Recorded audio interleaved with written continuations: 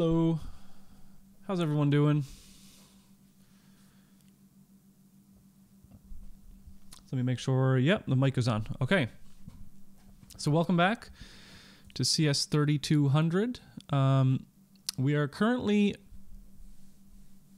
learning about reinforcement learning. Last class, we did an introduction to reinforcement learning, talked about some of the terminology that we were going to use and the overview of how reinforcement learning works.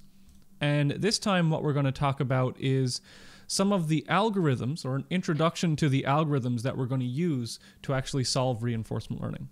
And specifically, um, we're going to be talking about something called bandit algorithms. And I'll see, and bandit algorithms are going to help us solve the problem that we talked about last time of exploration versus exploitation. And unfortunately, last class I said that I was going to be able to show off um, some of the Minimax Connect 4 tournament, but that's going to have to be on Tuesday because the markers aren't quite done with that yet. So on Tuesday of next week, so five days from now, the stream, we're going to end the stream with the tournament of all the Connect 4 bots that you wrote for assignment 3. So that should be really fun. And I will also announce the fastest solutions for assignment 2. Okay, so let's get into the lecture. And this is going to be on uh, bandit algorithms and exploration versus exploitation. So, what am I doing here? PowerPoint. Let's get into the PowerPoint and let's start this up. Someone asked, Will the stream be back to the regular time next week? Uh, so, for next week, it will still be the late time. Okay, so the late time next week, and then after that, we'll be back to the early time. Okay, so lecture number 14 uh, explo- exploitation versus exploration and bandit algorithms that are going to help us solve that problem. So, just as a, a recap of what the exploitation versus exploration problem is, one of the main challenges in reinforcement learning is the trade off between exploitation and exploration. So, to obtain a lot of reward, our agents are going to prefer actions that they know produce good results. But in order to learn which of those actions actually produce good rewards, then you have to try them out first. And so the agent has to exploit knowledge that it has, but also explore in order to gain more knowledge. And this is one of the main challenges in, in real life, um, for example. So we talked about last time the example of going out to a restaurant, right? Um, and so you may, if you want to get some food, you want to go out for food, you could say, well, am I going to go with like my favorite restaurant, which I've had a bunch of times before and I know that I'll like it? Or can I explore and and maybe go to a new restaurant in hopes that that one will also be good and maybe it'll even be my new favorite, right? So a lot of the times in life, even in relationships, right? Maybe I have a, a good relationship going, but maybe there's something out there that's better, right? It's a dangerous question to ask, but um, it's true. You're always, even in your job, right? Maybe your job has decent pay, you like your coworkers, but maybe there's a better job out there for you somewhere, or maybe there's a worse job out there for, for you for you somewhere. So it's it's a really important question in life is how to deal with this um, exploitation versus exploration problem. Okay. So we've talked a lot about learning. We've talked about machine learning, we've we've floated the idea of reinforcement learning, but let's just quickly go into what learning actually means from the context of this course because when we start to create these algorithms that are going to help us solve problems, um, we want to know what we mean actually when we say learning in order to write a learning algorithm. So, learning is the process of gaining or modifying existing knowledge. Okay. So we have learned something if we have information that we didn't have before, right? So maybe you learn to ride a bike. So at one point you didn't know how to ride a bicycle, and then through practice and training, you have learned how to ride a bicycle. Or maybe you didn't know how to do long division at one point, and then through uh, your math class, you learned to do long division. So you've gained some more knowledge uh, about a particular topic. So even if we try something out and we're gaining the same results, we learn to trust them with more certainty. So, what this means is let's say that, um, what's a good example? Can't come up with a good example right now. But let's say, for example, uh, we're playing a game and a certain action could have a, a specific value, right? So we'd get a specific reward. So let's say we think the reward is going to be 10. Even if we try the action again and we get another 10 and another 10, we've still learned something, even though it's the same thing we thought before. And the thing that we have learned is that we are now more certain about the value of that action, right? So even if we don't get a new value, we still learn something because we know more about the statistics around that value. So, what is exploitation? Exploitation is our ability to exploit our current knowledge. And what that means is that we're going to choose a high valued action for which we already have an estimate of the value. Exploitation is low risk and low reward, possibly. So we know, excuse me, we know what we're going to get. Maybe it's a low reward, maybe it's a medium reward, but the point is it's usually low risk, right? It's low risk going to your favorite restaurant. It's very high risk to go to a new restaurant. Risk meaning that the variance could be really high, right? So you could go to a new place, it could be really bad, it could be really good, it could be okay. And so if we always choose actions that we are familiar with, it gives us very little new information, right? So if we keep going to that favorite restaurant, we never get new information about other restaurants, for example. Exploration. So, exploration is trying actions that we haven't tried before, or it's trying actions that we have tried less frequently than actions we have tried more frequently. Um, and exploration helps us to learn those values. Okay, so as we try them more than more, as we try these new actions more and more and more, we get new rewards, we get new values, and we can update our belief about the value of those actions. And it's possible that the new actions have higher rewards than previously selected. Now, it's also possible that they have lower rewards, right? But the point is, we're trying them in order to learn whether or not the new values are uh, better or worse than other actions that we could possibly take.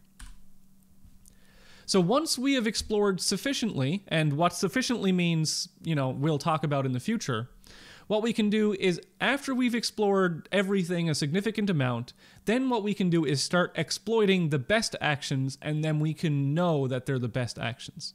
So what that means is maybe you spend your whole life visiting eh, visiting every restaurant in town 10 times to get a good sample and then you can start going to your favorite restaurant, right? Because you know what they're all like.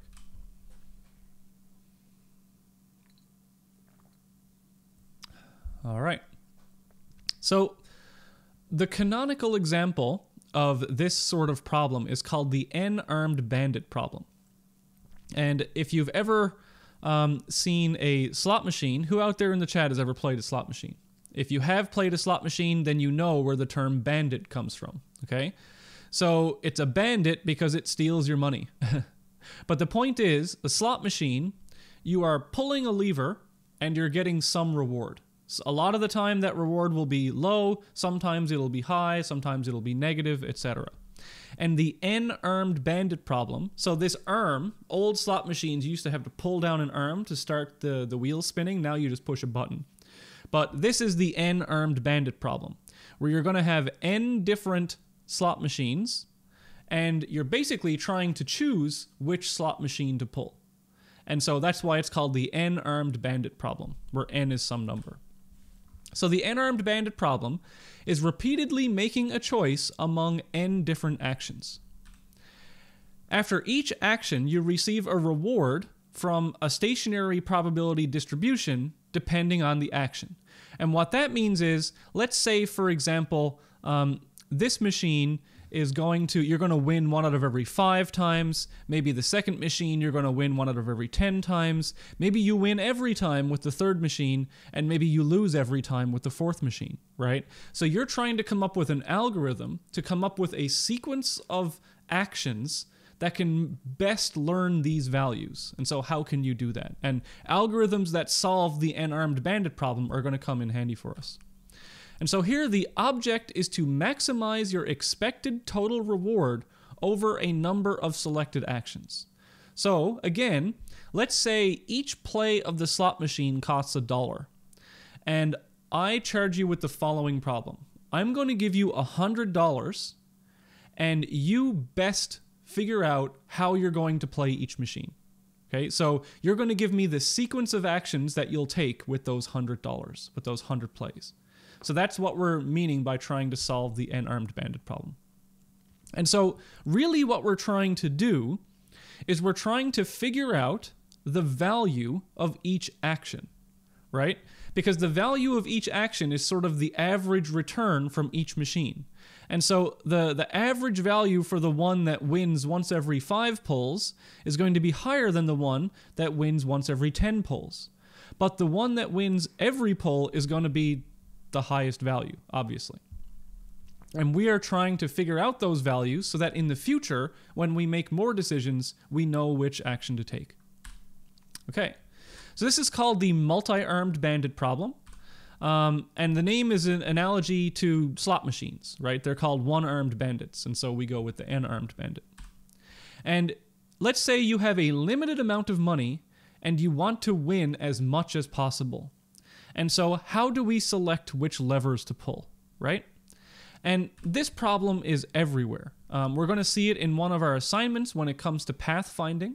Um, so in that problem, we're going to say like, which direction do we head in, up, down, left, or right, in order to gain the most information that will ideally lead us toward the goal. Um, on some game shows or some parts of life, you might be uh, presented with, you know, the the different doors, and maybe the last time I walked through this door, I got a million dollars. Maybe I got eaten by a tiger. Right? It's it's a hard decision. So we want to come up with algorithms for decision making. Okay. So, again, back to E versus E. If we maintain an estimate of action values, then at any time there is one or possibly many tied greatest value, right?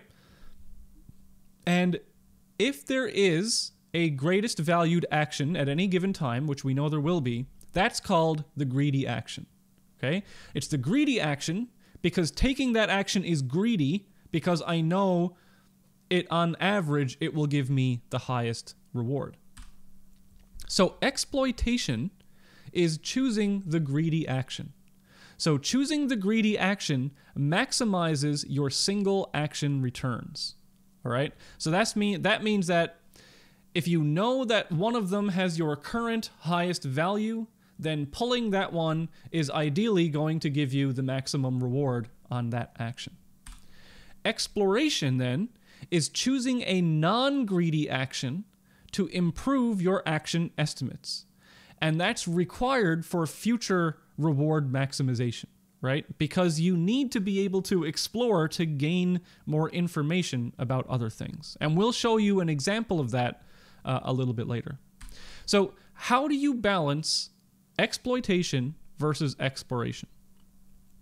Well, when it comes to the actual implementation of these algorithms, there's two very important concepts. The first concept is how do we store and update the value estimates as we learn over time from new information? So, how do we actually store and update that information? And the second part is based on that information of our value estimates, how do we choose which action to do next based on our current estimates. Okay, so the first thing, how do we update and store our estimates? And the second thing is, how do we choose an action based on our current estimates? Okay, so here's one class of um, methods called action value methods. And so, how do we store the current value estimates? Okay, what we're going to do is we're going to have this value called q. It's going to be a q value. Um, q star of a Remember what we what we said about star? Star is like the actual value of something. So if we had an oracle or if a, a deity could tell us what the actual value was, that would be Q star of A. So Q star of A is the actual value of action A. And the actual value here meaning the average or mean reward. Okay? Since we don't know the actual value of an action, we will never really actually know Q star of A, right? Because we're not an oracle. And so what we will know is Q sub T of A. And as we take more, remember what we talked about T? So T is a current time step. So T is zero at the beginning, and then T is one after our first action, two after our second action, and it will be T after T actions. So QT of A is the estimate of Q star of A after time step T. So, for example, Q10 of A is our estimate of the value of action 10 or, or, of that action A after 10 time steps. And we'll I'll walk through an example of this to make it really obvious what I'm talking about. So, Q value implementation. Let's take the n-armed bandit problem as an example. So Q of A is going to be the estimate of bandit A's reward. So choosing a bandit is going to be one action. Okay, so Q can be an array of size n. So how are we going to actually store these things? Well, if we have n one-armed bandits, right? So here we're going to have four slot machines. What we can do is we can start out with Q0, and Q0 is going to be our estimates of the values of all the actions at time zero before I have taken any actions. So let's just say, for example, um, and we have to fill this out with some values. So in some cases, well, most cases, we're going to fill these out with zeros, okay? So our estimate of the value of each action is going to be zero. And that's what this represents. So Q0 of action 0 is 0, Q0 of action 1 is 0, Q0 of action 3, and action 4 are 0. And then after some number of time steps, we are somehow going to get rewards and we are somehow going to update these values. And so maybe after t time steps, my qt of 2, right, 0, 1, 2 is 22. And so after some number of time steps, um, my estimate of action, my estimate of the value of this action is 22. All right, so let's go through and we'll do an example on the blackboard. So let's bring up the blackboard and we'll walk through an example. All right, so here, uh, let me just check. Um, so just to take a quick timeout, uh, I see that there's a few questions in the chat, but uh, the questions are probably from people not in the course. So I will answer questions that I think are relevant to the current part of the lecture, but I don't feel that those questions are relevant right now, but I'll get back to them once the lecture is over. Okay, so here we've got four bandits. I've labeled them here, one, two, three, and four. So those are our bandits. Um, as we pull levers on the bandits, what's going to happen is we're going to get rewards. Okay? And down here on the bottom, what we're going to have is our current Q values. So let's just say that I'm going to set all of those Q values to zero, right? So this is my estimate.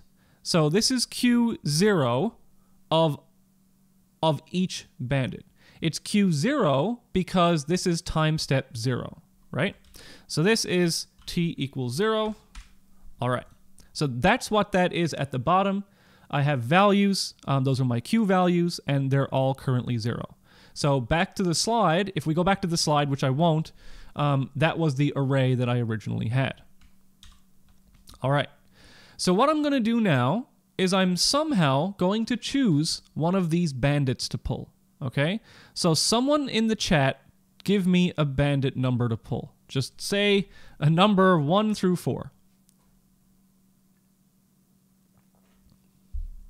Okay, so someone said four, and that was the first one. So we're going to pull bandit number four. Now, let's come up with some different distributions for these bandits, all right? Um, so let's say that bandit number one is always going to give me um, a value of five. Okay, now I'm coming up with these on the fly, and we're going to try and figure out uh, how to best go through this. All right, so let's say this one is going to give me uh, 20 or negative 20, right? This one might give me, let's say, uh, a random number from 1 to 10. And this one might always just give me like negative 1. Let's see what happens with this, okay? So the person in the chat said that we're going to pull the lever uh, random from 1 to 10. So what's going to happen here? Actually, let me let me say 1 to 20. Let's say rand 1 to 20, just to give it a little bit um, better value. And then here we have negative 1. So this is what's going to happen when we put when we pull these levers. Okay. Actually, one more one more quick change. Let's say this is going to be rand 1 to 8. Perfect. Okay. So we've pulled lever 4, and now we're going to get a random value between 1 and 20. Let's say, just I'm just pulling this out of my head, let's say that we get 17, right? So now we used to think that the value of action 4 was 0, but what do we think it is now? What's one way that we could update these values? Can someone in the chat say how I might now update my belief of the value of action 4 after I've gotten a reward of 17?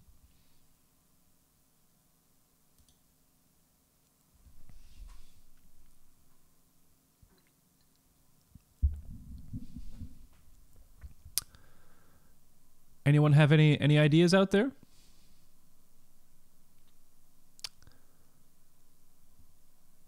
No ideas? Okay. So, what I'm going to do is just propose that we use the average. Okay? So, the average of everything we've done so far, that's what I'm going to put down here. So, let's put uh, the new value down here is going to be 17. So, boo boo boo. Let's erase that. Oh, geez. Am I going to have to do this every time? Uh, hopefully not. We'll see. Uh, there we go. Now we're going to put in 17. Perfect. Okay. Now what we have to do is the following. Based on our current values, which lever do we want to pull? Well, it, it looks like we probably want to pull this one again, right? because it has the highest value among all the the actions that we have. So this is one of the first issues is that typically what we want to do is try everything once. So let's just say we do that. So we've decided we're going to try everything once before we try anything twice. And the reason for that is because if we keep just pulling the highest valued lever, we'll actually never pull any of these levers. So that's bad. So let's say we pulled action 1, well, we're always going to get 5. Here, let's say we got negative 20 from here, and let's say we got uh, an 8. We got really lucky over here, okay? So now, down here, um, we've got a value of 5. Oh, geez, this is going to be hard to update every time. Um, let me just do this. All right, so we're typing this in black now because I don't I don't have the patience to do that. So we got five, we've got a value of negative 20 here, we've got eight here, and we've got 17 over here. Okay, so now what we have to do is decide which action to pull. So let's say I've given you 10 pulls, right? So we're just we're just deciding um, I, I don't have any algorithm yet. I'm sort of going on my own intuition. So I've tried everything once. Um, so maybe my intuition tells me, okay, let's actually try everything twice. Okay, so I'm gonna pull another five here. Um, let me go back to, to white for a second. So I pull this one again, I'm gonna get a five. Here this time I'm gonna get 20. Um, here this time maybe I get a seven, and here this time maybe I get a one, right? So if I come down here now and I erase these and I update the values, what I'm gonna get is I'm going to have the same value of 5 here. Here I'm going to have a value of 0. Here I'll have 7.5, and here I'll have 9. Okay? So this is the process that we're going through. If we're choosing to average things, then we're going to, let's say, for example, now I'm going to pull um, this lever again over here, and I'm going to get a value of 3. Maybe I get unlucky. And so now the average of what is it? 3, 4, 21 divided by 3. Now this is 7. Right? So now this one down here will be 7. So let me just update that. Right? So you can see how these values or these averages are going to update themselves. They're going to fluctuate over time. Some of these uh, some of these bandits up here are going to have like really high variance possible returns. Some of them may be returning the same thing every time. Some of them may be like completely random. And so we have to keep these estimates over time. And ideally, what we learn over time is the true average. So let's say I've gone through and I've pulled every lever a million times. So what would the values down here be if I've pulled everything a million times? Can anyone out there in the chat help me with these values? So obviously, if I pull the always 5 lever a million times, then that one's going to give me 5, right? Because no matter how many times I do it, I'm going to get that 5, and so my, my thought about its value will never change. Here, I'm going to keep seeing either 20 or negative 20. So if I go to infinity, well, this is going to give me an average value of 0, right? The average value between 1 and 8, so if I have 1, 2, 3, 4, 5, 6, 7, 8, then the average value there is going to be 4.5. And if I go to a million on this one, 1, 2, 3, 4, 5, 6, 7, 8, 9, 10. Yeah, so this will be like, I can't, uh, is it, if it's 10 or 10.5, I can't exactly remember. Um, so it'll be 11, 12, 13, 14, 15, 16, 17, 18, 19, 20. Yeah, 10.5. So what we will see over time as we keep pulling more and more levers is that we will eventually get close to this Q star value, right? So this is actually Q star down here, which is which is what we talked about, the actual values of this problem. All right. So when we talk about Q values and updating Q values and getting rewards, this is the process that we're talking about for the n-armed bandit problem. And it turns out that this is going to be the way that we update things even in much more complex problems. Okay, so let's go back to the PowerPoint slides. So that was the bandit example. And when I was talking about here, I said, okay, we're going to start out with uh, values of zeros for everything, and then at some point we will have estimates, right? That's the process that we were going through, was what I just showed on the blackboard. Okay, so there are two types of estimation methods that we can use um, in order to keep track of values. One, well, there's many of them, but these are two of the main ones. The first one is called sample average estimation, and the other one is called incremental update estimation. So, sample average estimation. A natural way of calculating QT of A is to average the rewards received so far after a certain number of plays. And that's what we just did, actually. So our example, we just did that. So if at play T, action A has been chosen KA times, yielding the rewards R1 through RKA, then what we have is QT of A, so our estimate at time T of the value of action A is equal to the sum of all those rewards divided by the number of times that that bandit has been chosen. Okay? If Ka equals 0, then we define Qt as some default value, Qt of A equals 0. As Ka gets large, then Qt of A converges to Q star of A. And so since we're since we're averaging the samples, then this is the sample average method. Really, really easy. So let me swap back over to the Blackboard real quick because what we were just doing here was the sample average method exactly, right? So here we had um, Ka equal 2 because this bandit was chosen twice. Here we have Ka equal 2. Um, here we also have Ka equal 2. And here we had Ka equal to 3, right? And so down here, what we had was um, 5 plus 5 divided by 2, right? That's R1 plus R2 divided by Ka. So that's that was our average. Here we have negative 20 plus 20 divided by 2. Here we had 8 plus 7. Sorry, 8 plus 7 divided by 2. And over here we had 17 plus 1 plus 3 divided by 3.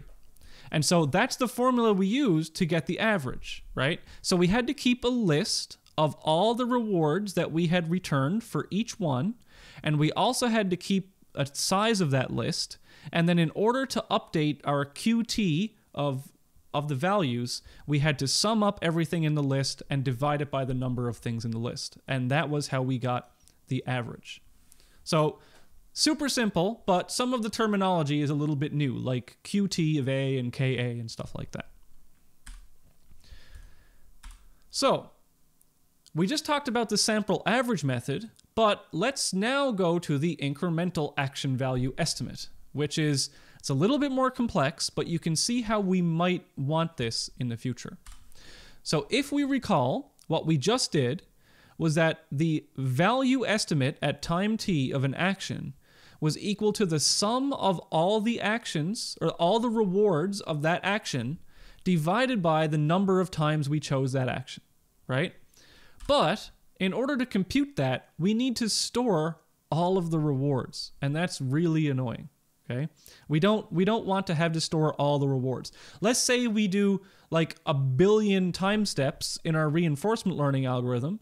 We don't want to have to store a billion different integers and then add them all and divide them, right? We want to be able to update the estimate of our average incrementally rather than have to store all these values. And so this is a bit of an optimization.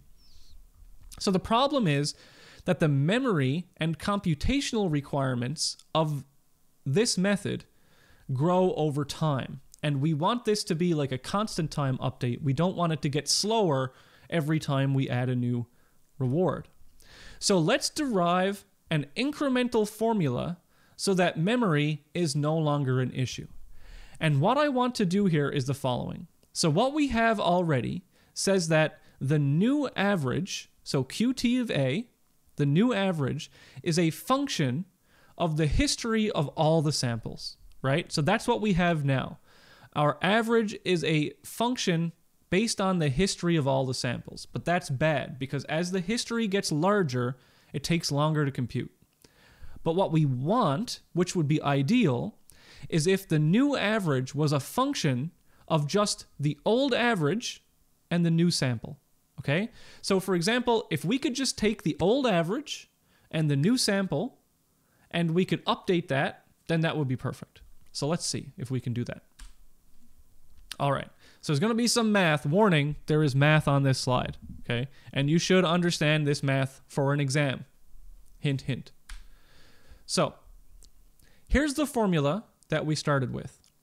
Um, our estimate at time k of our value is going to be equal to the sum of all the rewards, reward 1, 2, 3, 4, 5, up to k, divided by k. That's just the formula for the average of something. It's the sum of them all divided by the number of them. Let's change that into the summation notation, right? So we have the sum from i equals 1 to k of r sub i. That's what's inside here. and then we divide that all by k, but we're going to put that at the front instead of at the end. Okay? So this is the sum of all the rewards from i equals 1 to k divided by k. Really simple. So, if we wanted to find the new average, which is instead of qk, right, it's qk plus 1. So this would be the new average that we're trying to find.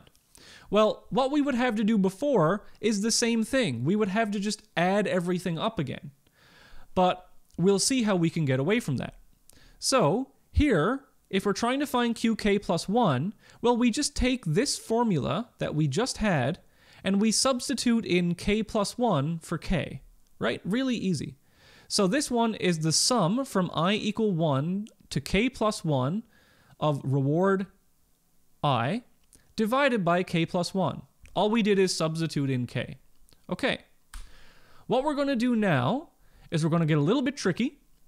And where before I said that it went from i equals 1 to k plus 1, now we're just going to say it's i equal 1 to k, and we're going to pull the k plus 1 reward outside of the summation.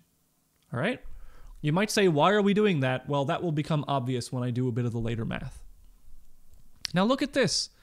This is really interesting. We'll go to the next line. If we have the sum of i equal 1 to k of ri, look where we had this before. So this term right here, let me circle it for you. This term right here,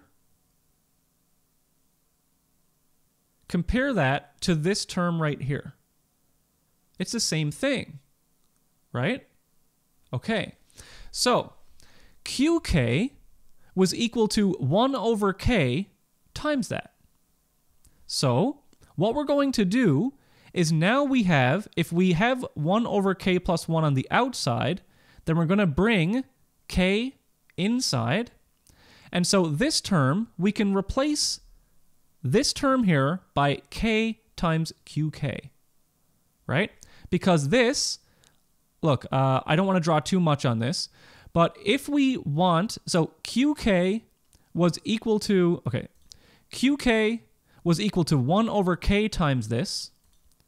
So if I bring this k over here, like this, then I have k times qk equals this term.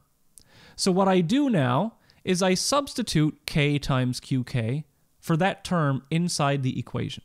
That's what I'm doing in this step. I hope that was clear. I, I kind of explained it two different ways. I think the, the most recent way was the easiest. Now what I'm going to do is I'm going to rearrange these two terms. So I'm just bringing this one over here, and I'm bringing this one over here. Okay, so I haven't done anything there.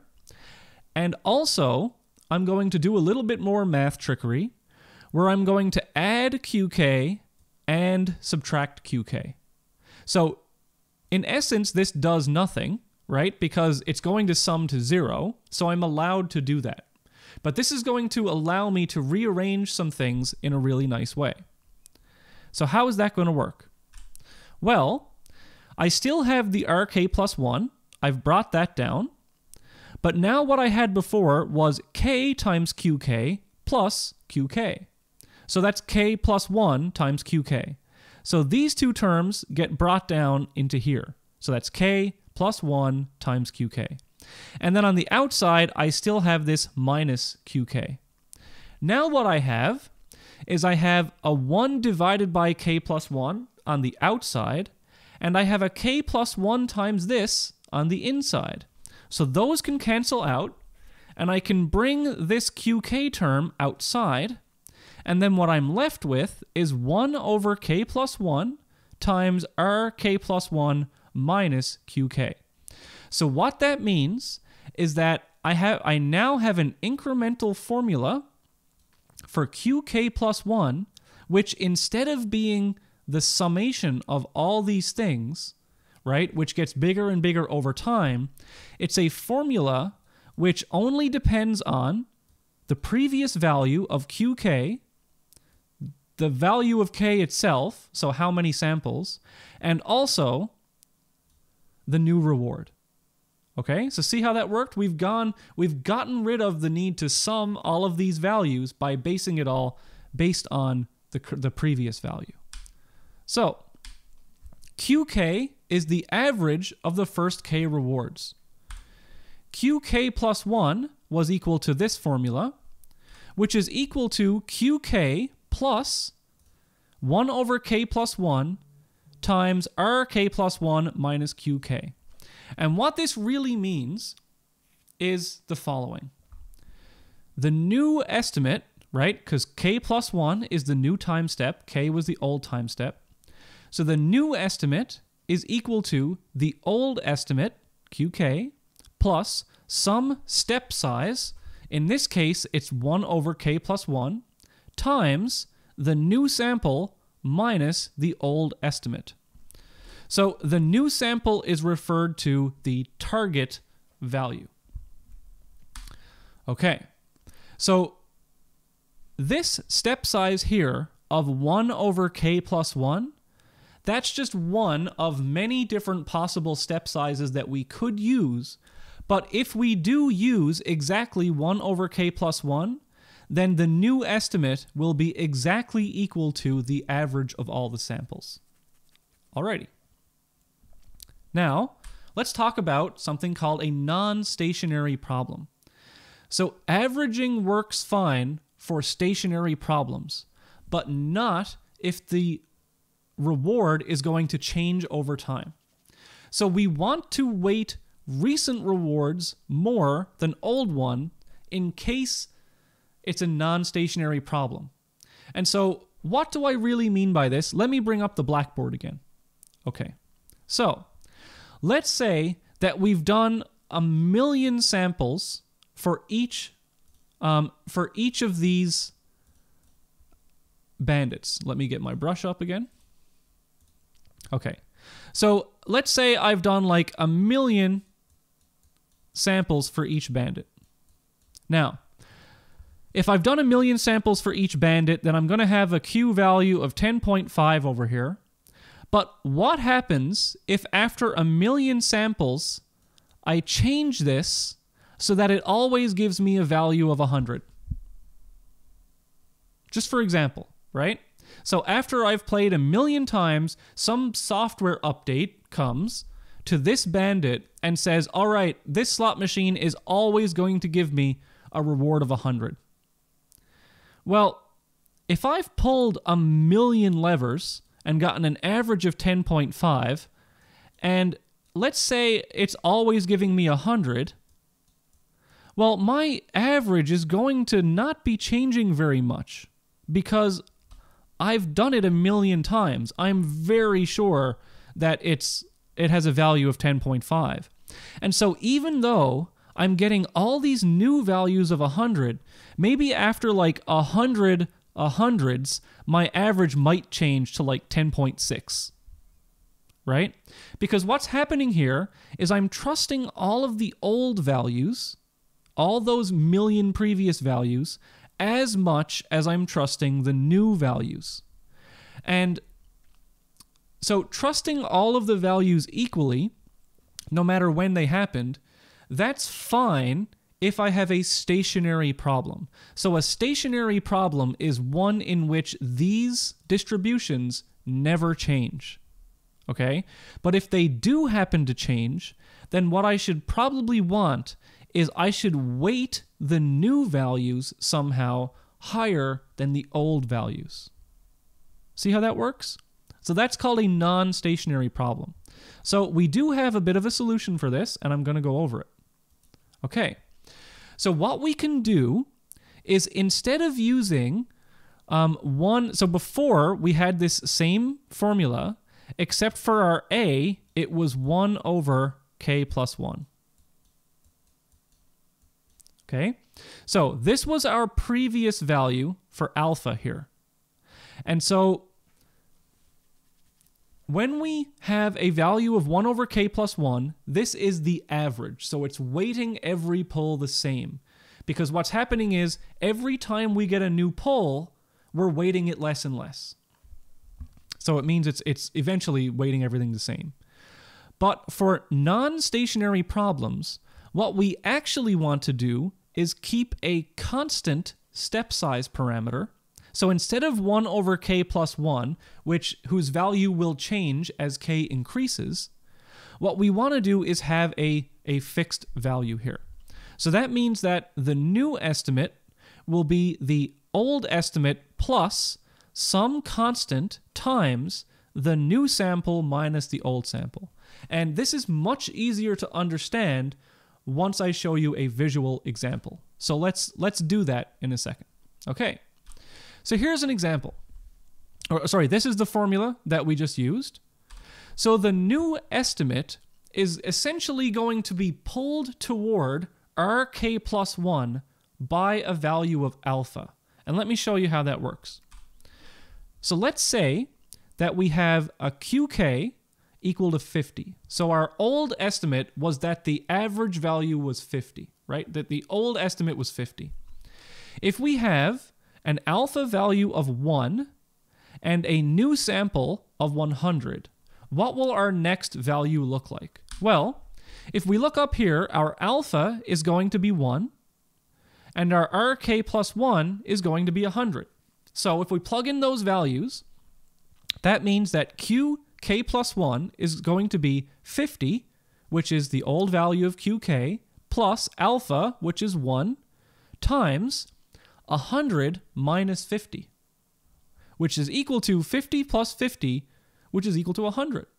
So that means that whenever, and if you if you do the math, essentially what it means is if we have alpha equal to 1, then we completely trust the most recent sample. See how that works? If alpha is 1, it's always going to equal the, the new sample. But if we say, for example, have alpha equal to 0.5, then the new estimate is going to be halfway between the old estimate and the new sample. So, if we plug in 0.5, we get qk plus 1 is equal to qk, which was 50, plus 0.5 times the new sample minus the old sample, which is now equal to 75. So before I said that if alpha, if alpha is equal to 0.5, then the new estimate is going to lie exactly between the old estimate and the new sample. And that's what happened. So the new estimate was the new sample was 100, the old estimate was 50, and so it's right between there at 75. Let's look at this graphically. Okay? So, here's the formula again. The new estimate is pulled toward the new sample by a linear scaling based on alpha. So, if we have qk at 50 and we have alpha equal 1 and the new sample is equal to 100, then here's what happens. We have rk plus 1 equal... What? Wow. Okay, these slides, the, the, the order in which text came down, sorry about that. That was really weird. So here's what happens. In this example, we have our old value of qk equal to 50. Our new sample is k plus or rk plus 1. That's our newest reward. That's our new sample. That was 100. What we can picture then is alpha, you draw a line between qk and rk plus 1, and however you scale alpha, that's where your new qk plus 1 will be. So if alpha is equal to 1, it will go all the way up here to 100. If alpha is equal to 0.5, then it will be here in the middle at 75. If alpha is equal to 0, then you will never change your estimate. It'll always be the old estimate. Okay? So for example here, yeah, I, I did that wrong. I think what I wanted to do was the following. Let me see if I can fix this real quick. Um, yeah, I did not want there to be any appearing on these slides. Okay. None. None. None. We're doing it live. Okay. So let's go over that once more because I think now it will be fixed. All right. So here's the math we just did. So we have QK right here at 50, right? Now we have RK plus 1 at 100. We introduce our alpha, which in this case is 1. And so QK plus 1 is all the way over here at 100. Perfect. I just had the, the PowerPoint animation was messed up a little bit. I apologize. Now, let's look at that same example for an alpha equal to 0.5. So I have QK here at 50. I have my new sample over here at 100.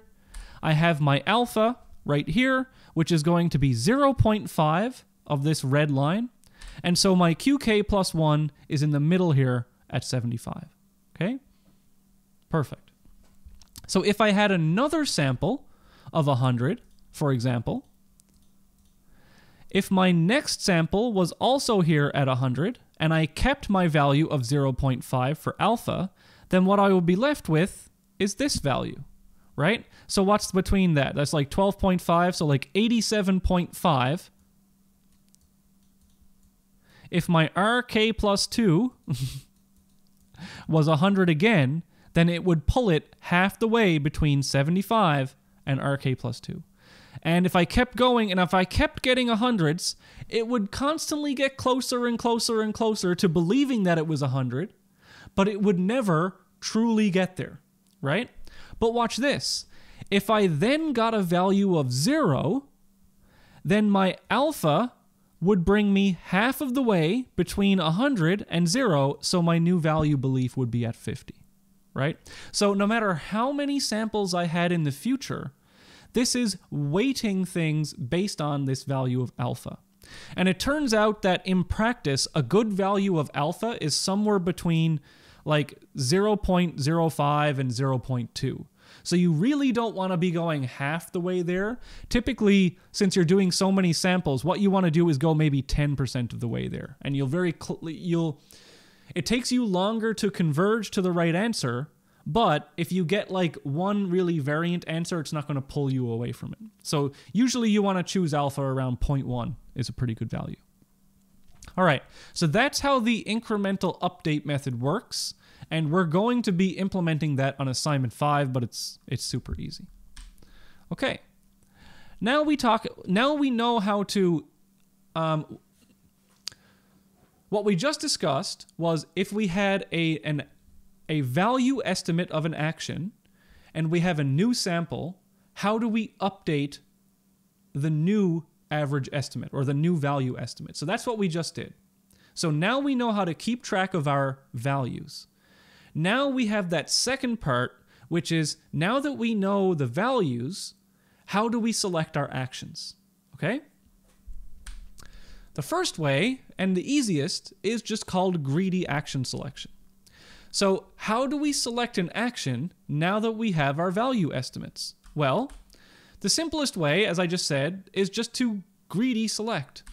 So, on any given play T, choose the action A star for which QT of A star is equal to max A of QT of A. And what that just means is the following. I'll go back to the blackboard.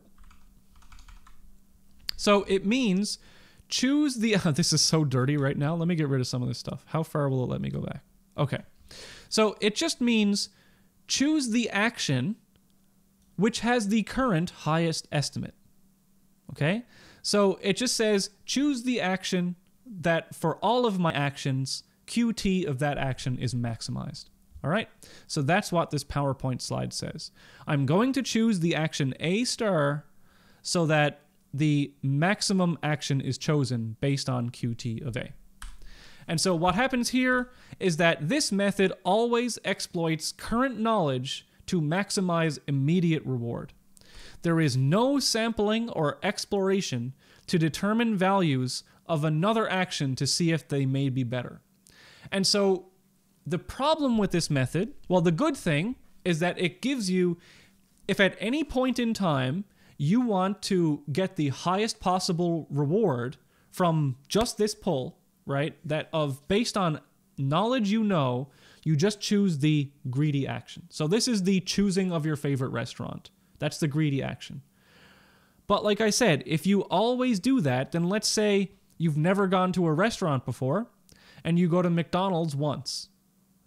If all you do is greedy action selection, you're only going to go to McDonald's for the rest of your life and you'll never try another restaurant. And you'll never try Wendy's, and Wendy's is obviously superior to McDonald's, and so you're losing out, right? If you had just explored a little bit and gone to Wendy's, you could have had a real hamburger rather than going to McDonald's. And that is that's fact. You can't argue with that. Okay. So, here's another way. It's called epsilon greedy action selection. And this over here is how PowerPoint's font wants to put in an epsilon. Greek, Greek letter epsilon. I just drew it outside of my camera, so here's the epsilon. I don't know. I'm not very good at drawing it. So to add some exploration, what we can do is we can use greedy action selection, but we can choose a random action with some probability epsilon. So, what this means is, as we choose more and more actions, if we go to infinity, each action will be sampled infinite times. So, it guarantees that as Ka goes to infinity, meaning the number of times that we've chosen each action, Qt of A converges to Q star of A. So what this means again, if we use epsilon greedy selection, let's say epsilon is equal to 0.1. That means that 90% of the time I'm going to choose the greedy action, but 10% of the time I'm going to choose a random action. So even if it's just 10% of the time, if we pull infinite levers, everything will be chosen an infinite amount of times.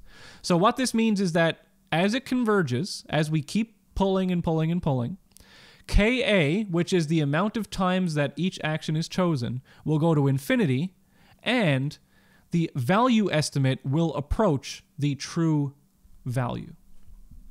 And so, in theory, this works. In theory, we can pull a lever infinite times. But in practice, it may take a very, very long time to converge. Okay? So let's just have a look at a graph here.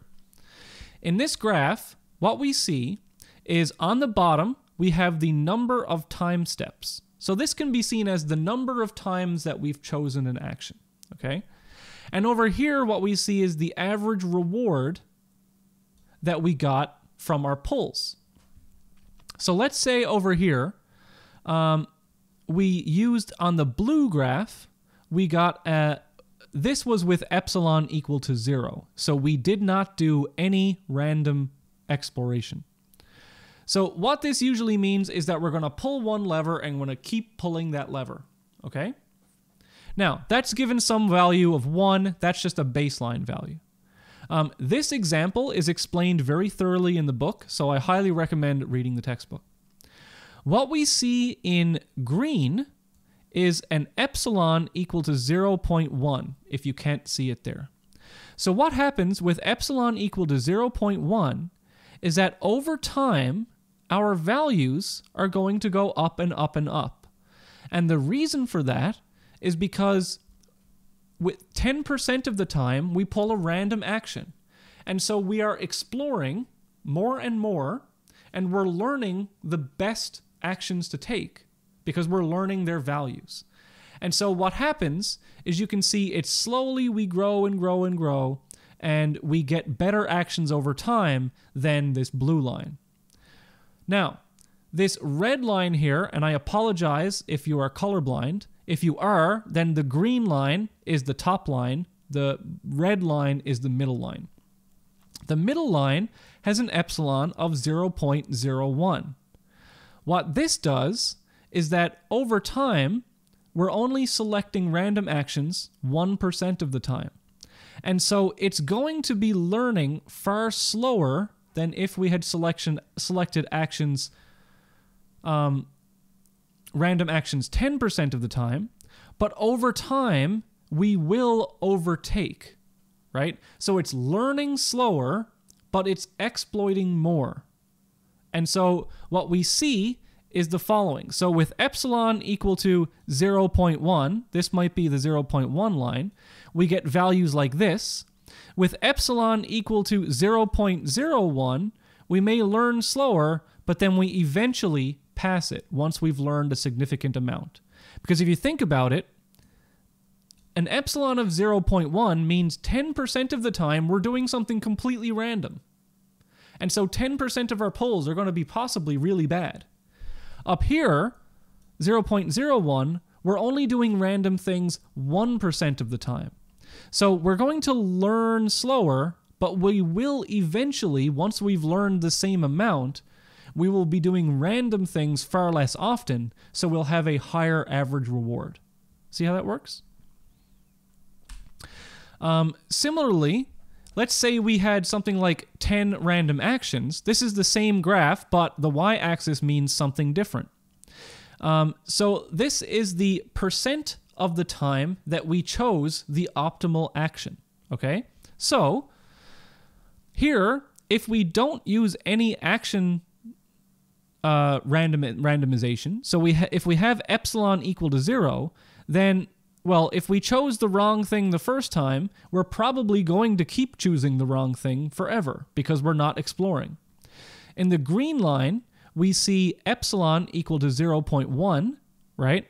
So we are going to learn over time which is the optimal action.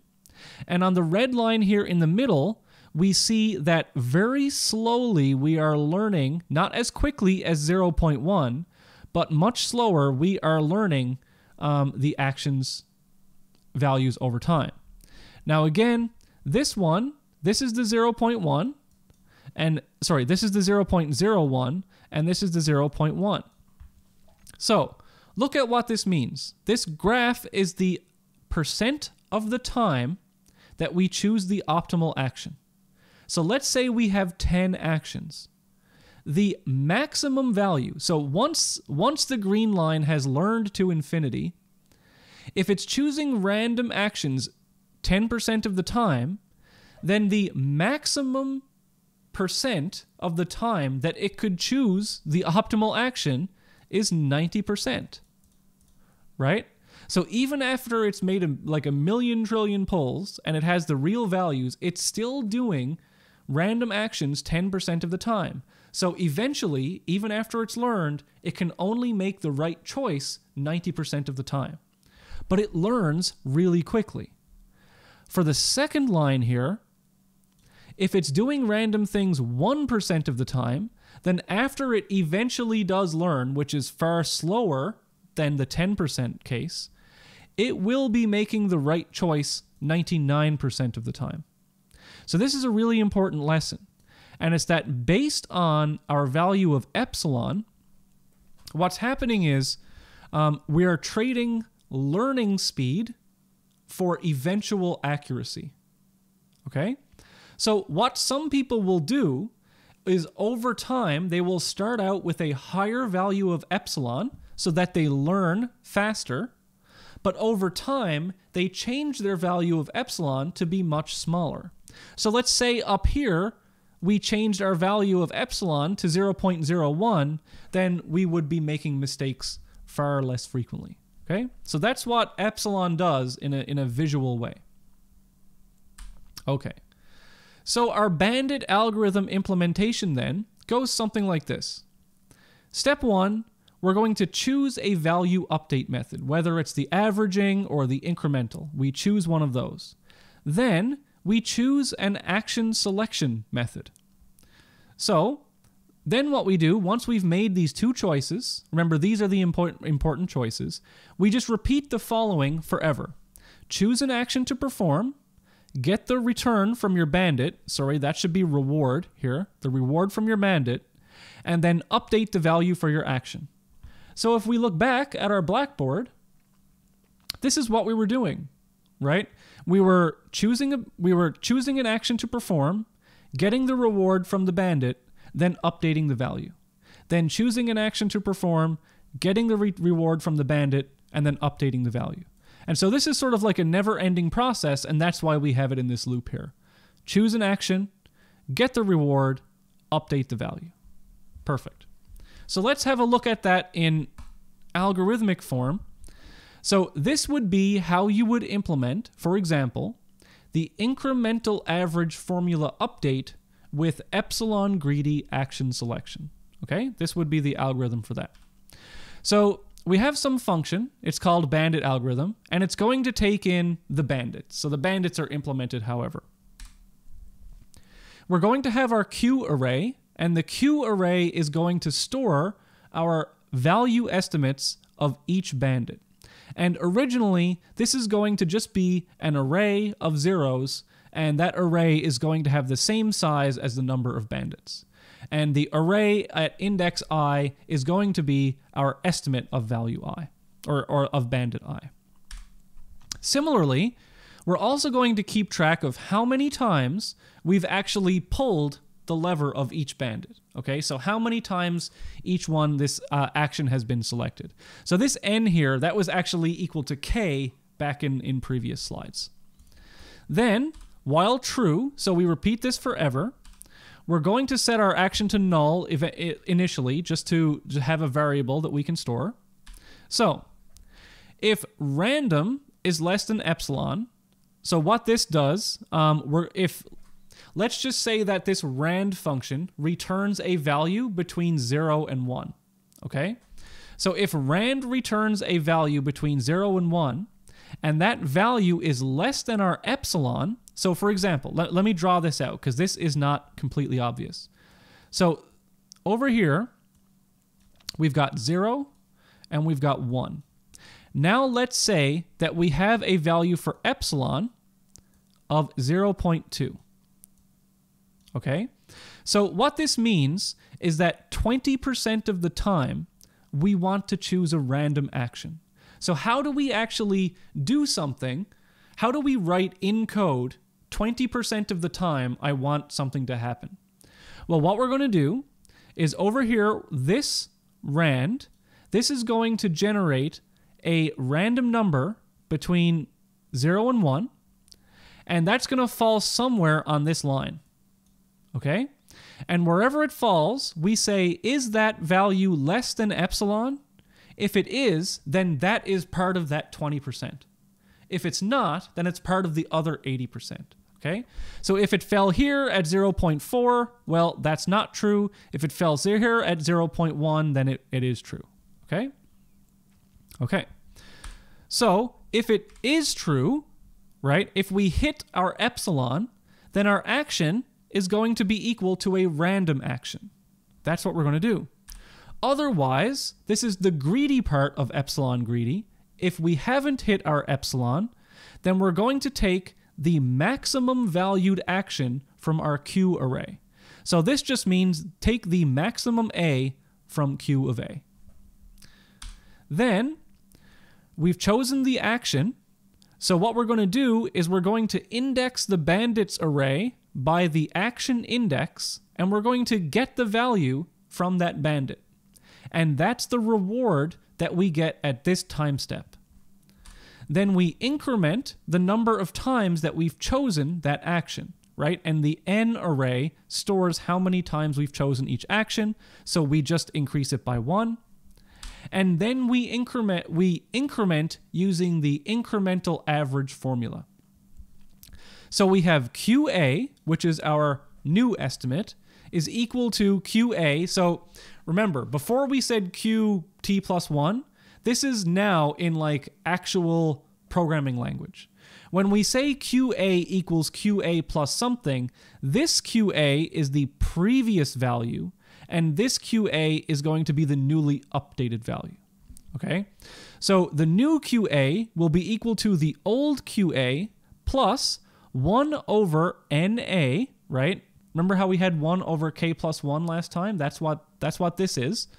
1 over NA times the reward that we got minus Q of A. That's it. So that is the bandit algorithm implementation using the incremental average update and epsilon greedy action selection. Really, really simple stuff, and I'm sure you can all do that. Okie doke. Now let's talk about another algorithm that we could use called upper confidence bound.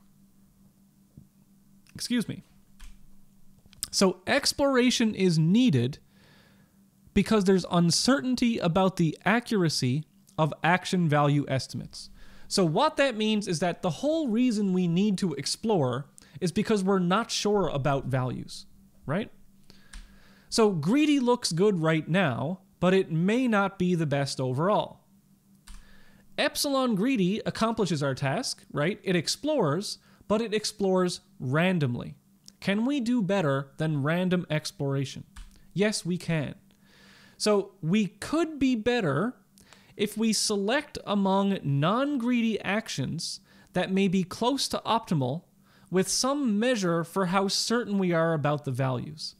And so, what that means is instead of just using epsilon greedy and choosing a random action to do, we're going to choose an action that has a balance between known accuracy and how many times that we've sampled it. And that's what UCB is going to do. Okay. So use this is the formula. It's actually called UCB1, upper confidence bound 1. But here is the actual formula, and we'll go through this step by step. Um, so LNT is the natural log of t. So up here, we can see natural log of t. Here, nt of a, that's the number of times that action A was selected. So up here, we've got the square root of the natural log of t divided by the number of times that A was selected. Okay. So what does this mean? It means that as we increase the number of times that an action was selected, this value goes down. Okay. Oh, I'm sorry. My my uh, thing is in the way here. Okay. So as we increase, so as we increase the number of times that an action is selection, this term here goes down over time. Okay? That's the important part. We see outside that there's this C. So this C value is going to multiply on this term. Okay? And this is going to control the degree of exploration. And what we mean by that, I'll come back to that in a second. Typically, what we do is we try all possible actions once before we start selecting using this. So, what the square root term is, if you've done any statistics, this is sort of like the variance, okay? So, the square root of the number of times we've sampled it divided, sorry, the natural log of the number of samples, this is the overall number of samples, divided by the number of times we've chosen a particular action, this is essentially the variance of a given sample. So, that's sort of a, an estimate of the uncertainty, right? So, if this is a measure of variance or uncertainty, then as that goes down, our certainty goes up. And that makes sense because the number, if we if we increase the number of times we've we've played a slot machine, our uncertainty goes down. Our certainty goes up. Okay. So, this function calculates a sort of upper bound on the true value of action A. So that's why it's called a upper confidence bound. As NT of A increases, the uncertainty goes down. When T increases, but not NT of A, uncertainty goes up. So T, let me let me increase this. Let me let me look at this again. Let me go back to the blackboard. So here we see um, over here Ka. This is that. Um, what was that value in our spreadsheet? One second. So here NT is equal to 3. If we're talking about the UCB formula, NT is equal to 3 here nt is equal to 2, here it's equal to 2, and here it's equal to 2. But t, the big T, is the sum of all of those. So that's 9. Okay? So let's go back to the PowerPoint and we'll see how that works. If we increase nt of A, then our certainty of the value of that action goes up. But if we increase the total number of actions, but not increase the actions of this particular slot machine, then our uncertainty goes up. And what does that mean? Well, once again, back to the blackboard, it means that if we keep, for example, if we keep increasing t, so let's say now we're up to t equals 100, right? But my nt for this one is still 3.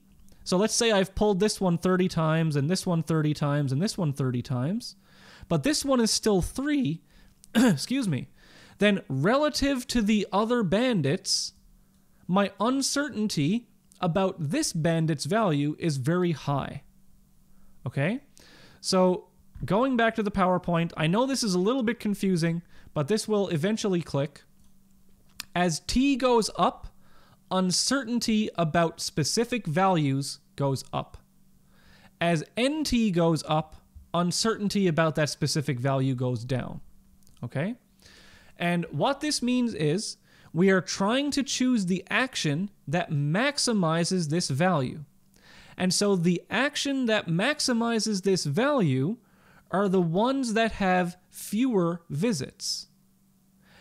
But that's also combined with the value of the action itself.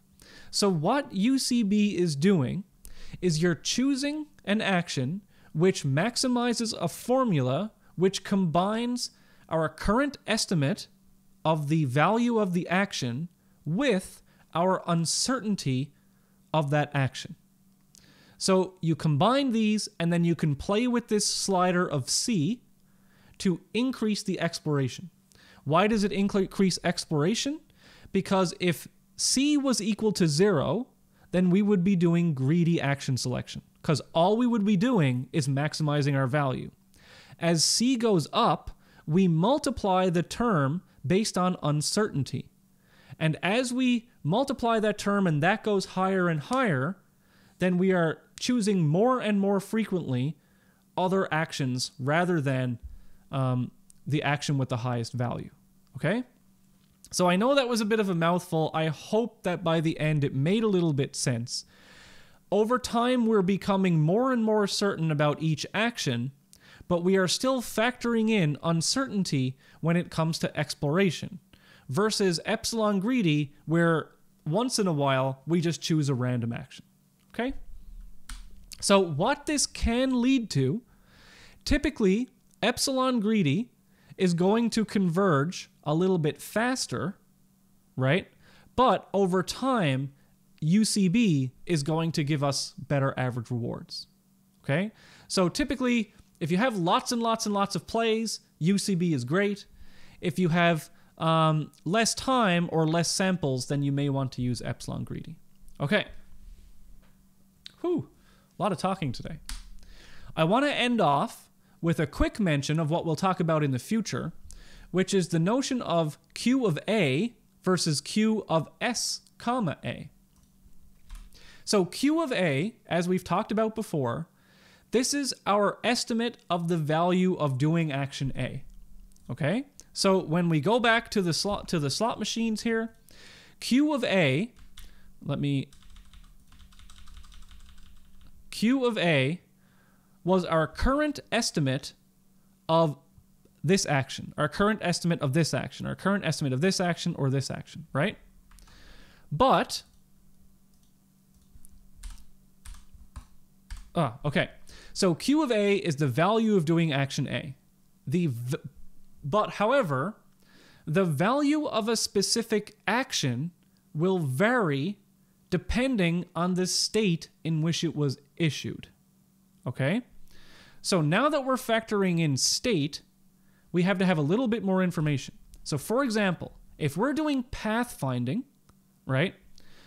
Let's say we choose to move up the value of moving up might be really good if we are at a state in which we are below the goal, right? Because by choosing up, we're going toward the goal.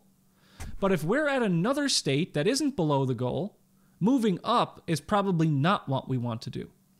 And so, what this means is that q of s comma a, which we will be using going forward, is the value of a given action at a given state. Okay? So, for example, if we're doing some pathfinding, right? So this is from assignment two. I'm sure you're sick of looking at something like this. So say we're at a current state, a current XY location, and we have these, we can move up, down, left, and right. So these are our actions X and Y. So now if we turn these actions into integers, right, we can think of this as the n-armed bandit problem right? We want to try up a few times. We want to try down a few times. We want to try left a few times and see how close it gets us to our eventual goal. So if we are at a current state, right? We're at a current state. There are four actions to choose from. So now, instead of just having Q of an action, which is going to be different based on what state we're in, now we're just going to have this new um, syntax, which is q of s comma a. So this up here, this would store the value of going up at state s. This would store the value of going left at state s, right? So essentially, if we wanted to do something like pathfinding, but with the n but solve it using something like the n-armed bandit problem, that and then at each state in our environment, we would have um, an n-armed bandit problem. So we would have to store the Q values of all the actions for every state. And so now we have Q, S of, Q of SA instead of just Q of A. All right. So that's the end of the slides for this lecture. Uh, let's go back here real quick. So I got a number of questions um, from people who are just obviously not in the uh, the class. If you want to see um, the lectures, you can. I will post the link here in the chat. Um, next time, we'll be getting into something called Markov decision processes, which are pretty cool. And uh, we'll be moving on until we get to Monte Carlo methods and temporal difference learning. And temporal difference learning is going to be super, super cool. And that's what assignment five is going to be on um, and specifically the Q learning algorithm. So all of this is building up. We're building up in baby steps into be able to actually perform reinforcement learning. And these action value estimates are one of the basic building blocks that we'll need. Okay? So, uh, on Tuesday, we'll be talking about Markov decision processes, and I will also be showing off um, the tournament for assignment three. So that'll be super, super cool. Thank you all for tuning in, and I'll see you on Tuesday.